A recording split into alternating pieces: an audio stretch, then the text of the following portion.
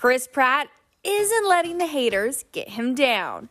The 43 year old faced some criticism from Super Mario Bros. fans when he was cast to play the beloved Nintendo character Mario in the upcoming animated movie of the game, since Mario is famously Italian.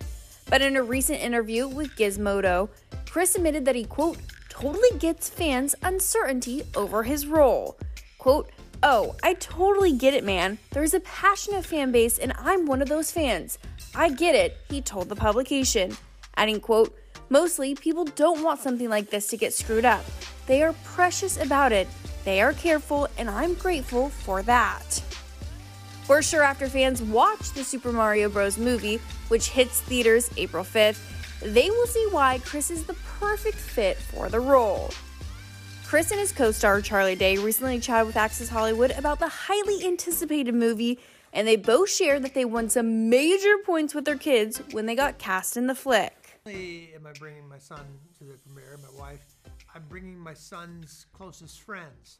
So like. Uh, Oh, wow. So like. Okay. Extra cool points for I'm dad saying. because like uh, you know it's going to be a good event for uh, a pack of a, a ten you know eight to eleven year old boys I love and it. uh, Yeah. and What- girls. What about Jack? Is, is, does this get you some cool points? Jack's there? already seen it now. I took him. Uh, He's he- already seen it? Yeah, he he's not gonna, he's out of town for the premiere. Okay. And Early so screening. so I I had an early screening, and he took uh, about six of his friends, and it was awesome, man. And what the coolest part was a couple of my friend Stefan, his, his his my son's friend's dad, leaned over and he's like, "Dude, this is this is really good. This is really funny." And that's when that's that's what's good because as a dad, you see everything. Every animated movie, you're going to end up watching it, Yeah. and a lot of times you're like watching the movie, but you're kind of on your phone because the movie's just not that good, Uh-huh. not that engaging for an adult. But for this one, it's like it's one of those films that's really actually pretty remarkable. I chuckled the whole way through it. Yeah. I chuckled the whole way through it.